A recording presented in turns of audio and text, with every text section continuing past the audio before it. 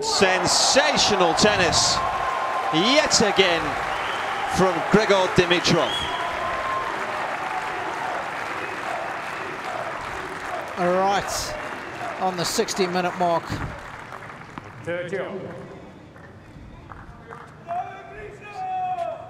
Vaporized that thing. What was a big point as well.